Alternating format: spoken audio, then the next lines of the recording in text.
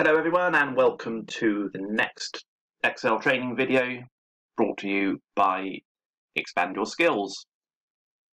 This time I'm going to do just a quick introduction to conditional formatting. Specifically, I was listening to a colleague who was struggling to use conditional formatting to colour a whole row based on the contents of one particular cell, and that's what we're going to try and cover today. So before we start, this is what we aim to end up with. Um, it is uh, my to-do list, basically, and is just an excerpt from a larger project I'm working on at the moment to, not surprisingly, produce a to-do list in Excel. And basically what I wanted to happen was anything that was overdue would turn be highlighted in red, as these items are here. Anything I've completed would be highlighted in green.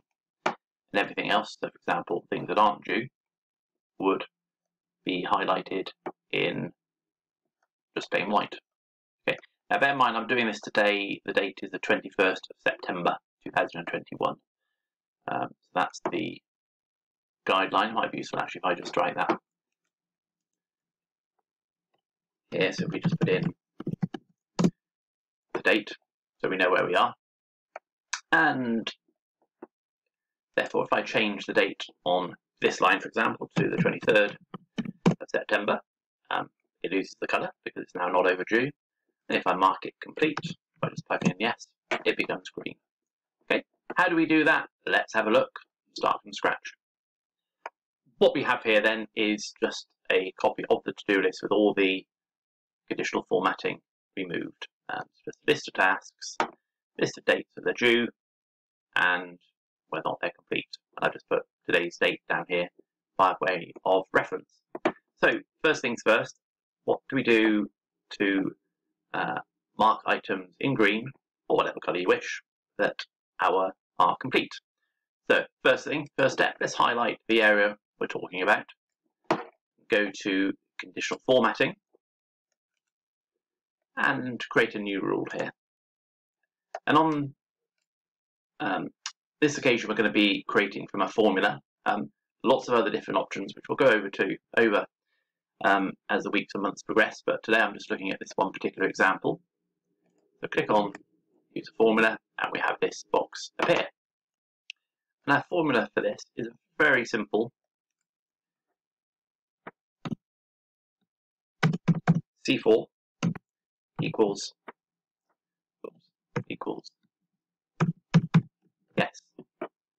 Gosh, typing not very good today. Um, okay, so what I'm saying is if column C, which we'll see will, um, I've made static by putting the dollar sign in front of it, is equal to yes. We want to colour it, or what should we do? Let's set the format.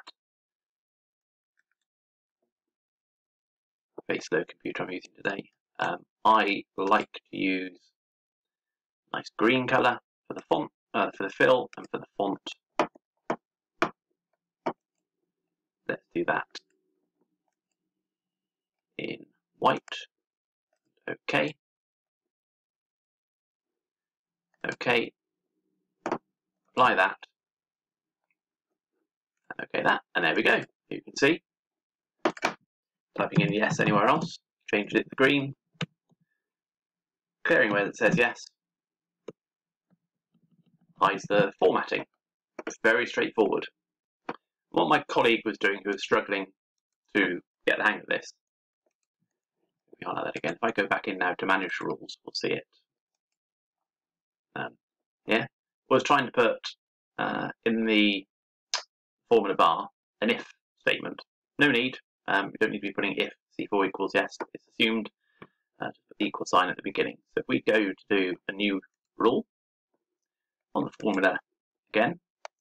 And this time we're looking at column B. Let's just move that to one side so you can see, for the date column. And we're saying if column B is less than today's date, then the formatting will be, okay, It's got to be red, isn't it? Because it's a sign that we're overdue. And let's do the font again in white.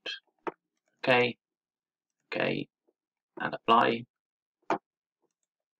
And there we are. So these are the items that are overdue. Again, by changing it, we go change it to, uh, in this case, green. We'll have a look at that in a minute, but that's not quite right. Um, and by putting the car MOT back to the 1st of August, let's see, suddenly becomes overdue. But let's look back at this one a moment. If I put the date as being one in the past. So um, this is complete, but it's also overdue, so it can't be both. Um, if it's over, if it's complete, it can't be overdue. So the colouring is wrong here. So how do we fix that? What's causing that? Let's go back in and have a look at our uh, rules, so into manage rules. And you can see here it's doing um, the, oh, I suppose in the wrong order. So it's saying, is the event overdue, in which case colour it red. Okay, what we wanted to do is check, is it complete as the first one, and then colour it green and stop. So um, if we highlight that line and we just move it up so the order that they're done in is different and apply that one, and OK. Got too many incomplete things, let's get rid of some of these. Right, so pay electric bill on the 10th of September. If I now complete it, we want to change to green, which it does. So that's what we wanted. Okay, um, that's it for this video. As I say, very short, very simple. Um, just wanted to clarify a problem a colleague was having. Um, hopefully this is of use to you and to him. Um, any comments, as always, drop them below. And I look forward to speaking to you next time around. All the best and good luck.